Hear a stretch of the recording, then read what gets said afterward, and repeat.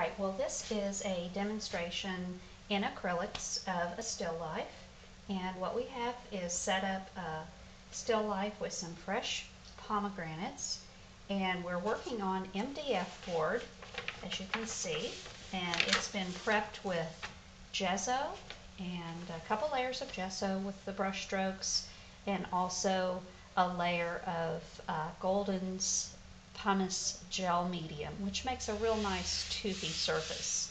And then what I did was I worked on my composition and sketched it out quickly with just a watercolor pencil, um, which obviously with the water media will get covered up.